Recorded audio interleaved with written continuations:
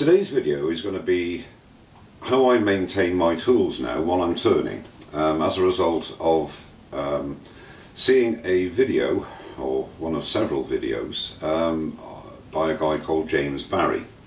Now James has been in the sharpening business for about 20 odd years and his product is that good he actually supplies Trend with diamond honing stones. Um, fortunately for me, my birthday is at the same time as James's, so he very kindly sent me a couple of um, the um, honing stones as a birthday present. And um, I assure you, if I had found that there was no use for them in my workshop, I would not have done this review. The, the type of media out there for diamond hones is very varied. There's the bottom end of the market and there's the top end of the market, and these definitely are at the top end of the market. Um, by the mere fact that they are actually uh, endorsed by Trend uh, is testament to that. Basically what it is, it saves you going to the grinder every time you want to maintain an edge on your tools. Which leads me very, very conveniently into a superb video that was uploaded by Robbie the Woodturner last week and it goes through his methods of sharpening his turning tools. It is a must watch for new turners and experienced turners alike because we all are thirsty for different methods of doing things and we learn through others. Everybody has their own way of uh, sharpening their tools, whether it be with a grinder, whether it be with a jig, whether it be freehand or using something like the Sorby Pro Edge belt system, whatever we have to have some form of medium to sharpen our tools initially. What these diamond honing stones do is maintain that edge during turning. My advice is to sharpen your tool before you start your project as you would normally um, and then maintain that edge with these diamond honing stones. What Barry sent me was um, a small half round file and a credit card file. Now this is a little bit unique in my opinion because it is very thick substrate. It's two millimeters thick. There's no flex in it at all. I actually purchased one of these about 18 months ago in my quest to get a really good edge and it was like a credit card as it said. It, it was as it said on the tin. It was in my opinion useless because it flexed too much. This is really rigid. Good bit of kit. It's double-sided, 600 grit on one side, which is ideal for carbide tools, and the 300 grit, which um, James suggests is what you use on your turning tools. And apparently there are a lot of professional turners that use this sort of a medium to touch up their tools while they're turning. Um, I found it absolutely brilliant. Now the way I use it is with as is recommended, uh, the trend lapping fluid, which lubricates the stone. Just a little tap of that, and that's all you need. And also, when you finish doing your sharpening, a quick rub over with the uh, trend um, cleaning block. These two items I purchased to go in conjunction with these files. For a technical explanation of the makeup and everything else, I'll put a link in my uh, in the description of the video uh, to both Robbie's uh, sharpening tools video and also James Barry, James Barry's videos, which will give you a complete rundown of how these are made and the wonderful, the many different things that they can do. So if we take, for example, for, for an example, the first tool, which is the easiest one to maintain because it has a single edge, uh, as a, a, single bevel, um, take your tool rest out, and this is a tip I got from um, Eddie Castelin and I've used it ever since. Brilliant for me anyway. And you've got a ready-made tool holder which makes it, brings it, well, not quite to my eye level, but it certainly makes it a lot easier for doing this sort of task. So you take the, um, in this case, the diamond card with the 300 grit, a little bit of um, lapping fluid on the surface, place your tool in the tool holder, ready-made tool holder, and all you need to do is to find the bevel. Because with all tools that are sharpened on a, a grinder, whether it be a 6 inch grinder or an 8 inch grinder, you're creating what is called a hollow grind. There's a concave um, area between the edge and the heel of the tool, whether it be a, a skew chisel, a scraper, it doesn't matter what it is, you have a, co a concave ho hollow grind.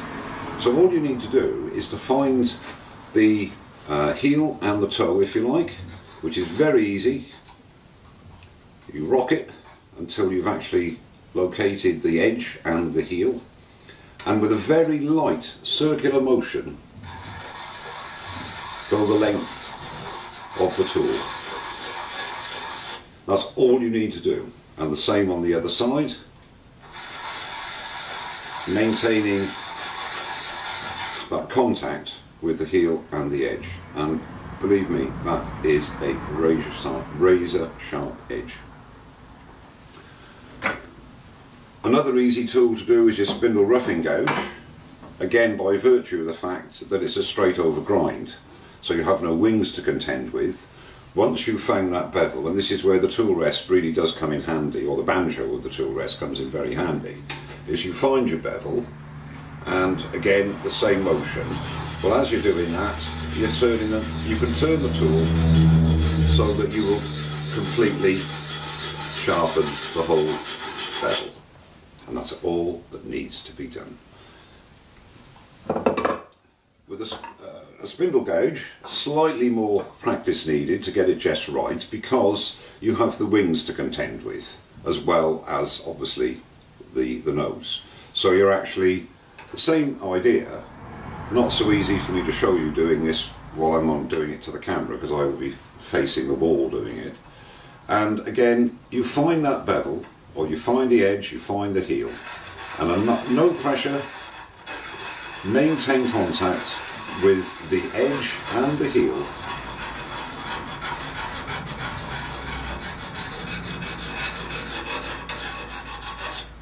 And you have touched up that tool brilliantly.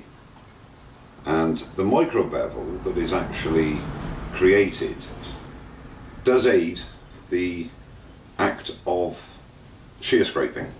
Uh, and again, in one of the videos that Barry's in, there's a guy called Morris, I think it is, an American guy, while he's doing his uh, demonstrations in, in the US. And he will explain in far more professional terms and uh, his his method of explanation will be a little clearer than mine, if you like. Basically, what I'm telling you is, in my opinion, this is a great way of maintaining your tools while you're turning. Carbide tools, carbide cutters. I'm not going to do a demonstration on my carbide cutters from Glenteagle because at the moment they're still perfectly sharp. Um, so there's no need for me to do it. The square, the, the square uh, profile scraper, if you just take that off the tool and you place the top part, not the underneath, the top part, flat on the stone and literally rotate it around the stone like so and that will make that will then restore a perfect edge. With the round cutter and the uh, profile cutter you have a bevel and again the same principle is that, but you would use in the 600 grit as you would with any carbide tools, you find that um, the edge and the heel and you rotate around the cutting edge. Uh, Glenn actually said to me he made a little jig for this. Uh, I haven't actually done it yet because as I say I've had no need to actually sharpen these carbide tools yet. Uh, if you get a bit of doweling, uh, put a little a hole in it, you can screw the uh, tip to the doweling place that in a small, in your pin jaws and at, at low speed you can rotate that on the lathe and lightly apply the diamond hone to the cutter and that will restore its edge. Somebody made a comment uh, in, in, in the video I did on the review of Glenteagle's tools um, that he's still not convinced that you can touch up carbide tools.